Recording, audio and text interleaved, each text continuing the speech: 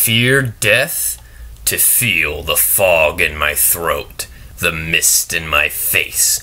When the snows begin and the blasts denote I am nearing the place. The power of the night, the press of the storm, the post of the foe. Where he stands, the arch fear in a visible form.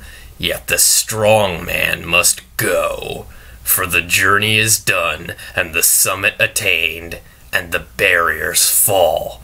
Though a battle's to fight ere the guerdon to be gained, the reward of it all. I was ever a fighter, so one fight more, the best and the last.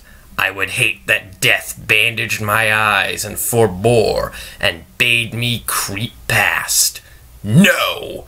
Let me taste the whole of it, fare like my peers, the heroes of old, bear the brunt, in a minute pay glad life's arrears of pain, darkness, and cold.